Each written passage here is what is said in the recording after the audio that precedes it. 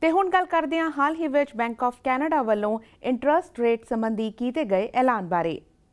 Bank of Canada ਵੱਲੋਂ ਆਪਣੀਆਂ ਵਿਆਜ ਦਰਾਂ ਵਿੱਚ ਵਾਧਾ ਨਾ ਕਰਨ ਦਾ ਫੈਸਲਾ ਕੀਤਾ ਗਿਆ ਹੈ। ਬੈਂਕ ਦਾ ਕਹਿਣਾ ਹੈ ਕਿ ਕੋਵਿਡ-19 ਮਹਾਮਾਰੀ ਕਾਰਨ ਦੇਸ਼ ਦੇ ਅਰਥਚਾਰੇ ਨੂੰ ਢਾ ਲੱਗੀ ਹੈ ਤੇ ਇਹ ਸਾਲ 2022 ਤੱਕ ਹੀ ਮੁਸ਼ਕਿਲ ਨਾਲ ਲੀ ਤੇ ਆਏਗਾ। ਬੈਂਕ ਵੱਲੋਂ ਜਾਰੀ ਕੀਤੀ ਗਈ ਆਪਣੀ ਅਪਡੇਟ ਵਿੱਚ ਕਿਹਾ ਗਿਆ ਹੈ ਕਿ ਸਾਲ ਦੇ ਪਹਿਲੇ ਅੱਧ ਵਿੱਚ ਪਈ ਮਾਰ ਨਾਲੋਂ ਹੁਣ ਸਥਿਤੀ ਕਾਫੀ ਬਿਹਤਰ ਹੈ।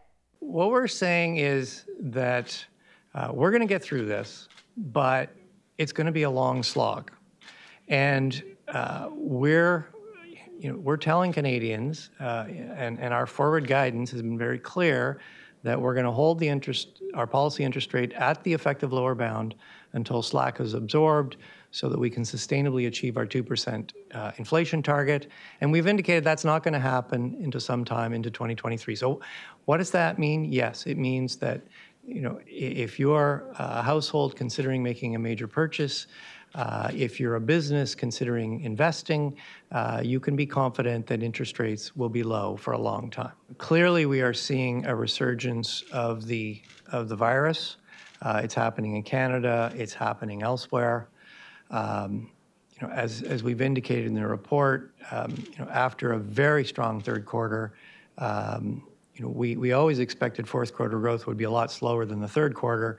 With the rising uh, number of uh, COVID infections, uh, we've taken something off that. So we, our fourth quarter GDP growth is now barely positive, 0.2 quarterly or 1% annualized. hopefully, as we come through this second wave, um, things will pick up again. But what we tried to outline is that you know, we expect there will be successive waves of, of this pandemic. Uh, hopefully, each wave will be a little smaller. We'll get better at managing them, and that's what's built into our, our base case. Uh, we also assume in our base case that we don't get um, vaccines aren't widely available until uh, middle of 2022. Um, it, it could happen, that could happen faster. Uh, that would be wonderful. There are certainly scenarios where uh, a vaccine is, is available uh, early next year and uh, it proves effective and, and we can uh, deploy it at scale uh, so that by the end of the year, um, you know, we don't need to physically distance anymore. Um, on the other hand, uh, there are scenarios where the early vaccines aren't as effective as, as hoped. Uh, there are scenarios where um, a second or third wave is worse uh, than expected.